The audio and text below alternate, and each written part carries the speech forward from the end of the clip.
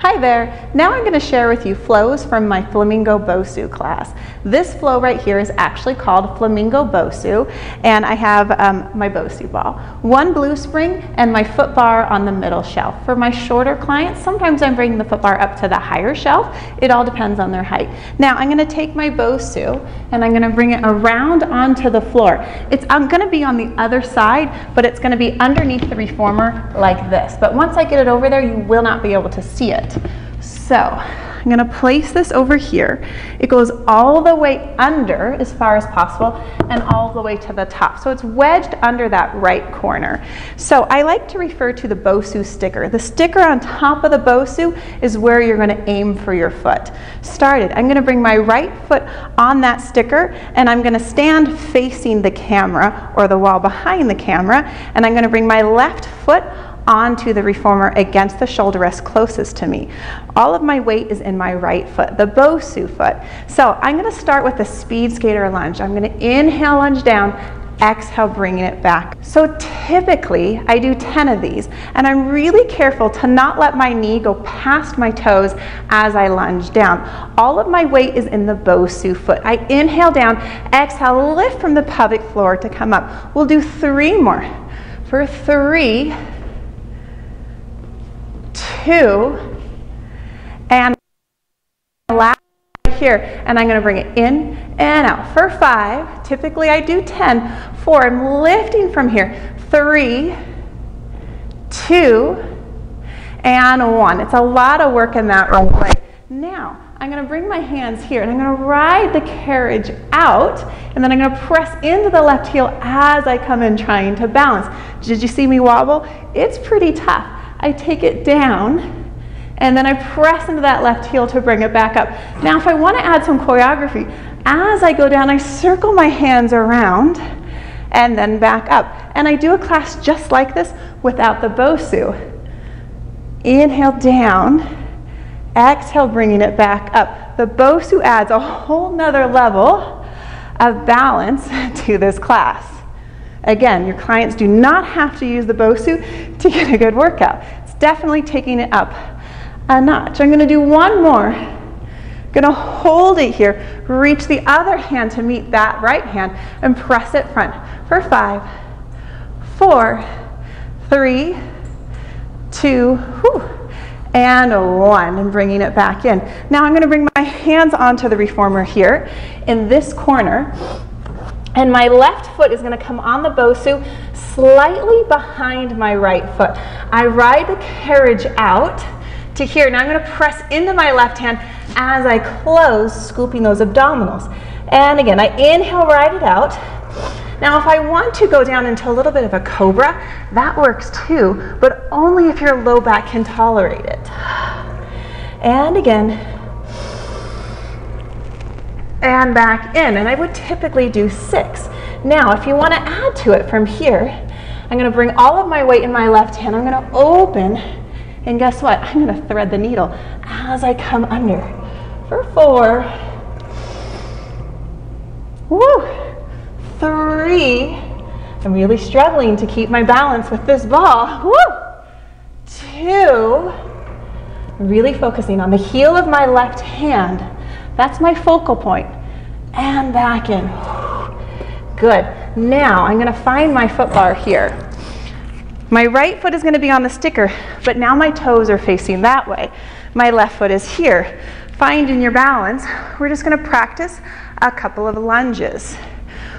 Practice the lunge, and once you have it, you take the hands off the foot bar. Maybe you just leave your hands here. Now, if the client feels comfortable, we add some choreography. You reach, bring it back. Let's do four more. For four, lifting from that pelvic floor. We've got three, two, last one. Now I'm going to hold it right here and I'm going to pulse for five, four, three, two, and one. Now I'm going to locate my foot bar again. I'm going to come down, and here's where the flamingo comes in. First, I'm going to layer on the challenge. I'm just going to lift. I'm going to keep my right leg long and just lift it off of the ball, focusing on lifting the hips to close the carriage. Finding that Pilates scoop to lift the hips. Now, can I bring my left foot all the way under my hip, or all the way under my shoulder? So I go down, I'm gonna bring the foot all the way under my shoulders. Now let's layer on the flamingo. Flamingo for three. Exhale, lift for two. Nose to your knee, and one. Now, I'm gonna cross my knee over to my left hand for three, and down, two, whoo, and one. Now I'm gonna kick it to the back for the arabesque. Kick, land, kick, land. One more. Whew. All right. Now we're gonna build on that. I'm gonna pick up the Bosu and I'm gonna bring it on the reformer here. Right. Now I'm gonna come back on top. My left foot now is gonna be on the front of the ball on the right side. I'm gonna start on the floor. My right foot is on the floor. I wanna be careful to keep my right foot as close to the foot of the reformer as possible because if I go back too far, a taller person like myself will bottom out in the back. So I want to stay as close to the foot bar as possible while doing this. So I'm going to do that progressive flamingo again. I'm going to start with just the leg dangle and back down. The fun thing is I can get more of a Pilates scoop because I can lift higher. And I'm really trying to pull that left foot under. Let's practice one more. Exhale. Now I'm gonna layer on the flamingo right here. For three. Nose to your knee. Hollow out those abs for two. Woo. And one. Now, watch this. We're gonna do a progressive kick. I'm gonna flamingo, kick, flamingo, land. Flamingo, kick, flamingo, land. Pass through flamingo before you kick. Good, drawing the carriage all the way in as I kick, all the way in. Left leg is definitely getting some work. One more. And now I'm gonna bring both feet onto the front of the ball here. And I'm gonna start with some simple pikes. Inhale for nothing. Exhale, scoop those abdominals to draw it under. And again, inhale, open. Exhale, drawing it under. One more here. Exhale, drawing it under. Now I'm going to reach for my right foot. I'm going to tap the floor and flamingo. Tap the floor, flamingo. One more. Now we're going to do the progressive flamingo kick. Flamingo, kick, flamingo, floor. Flamingo, kick, flamingo, floor. One more.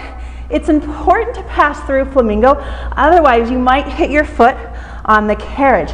Now from here, I'm gonna turn my toes towards the left. So I'm working the right side still. I'm gonna inhale down, press into my right hand, cinch the waist to bring it home for three.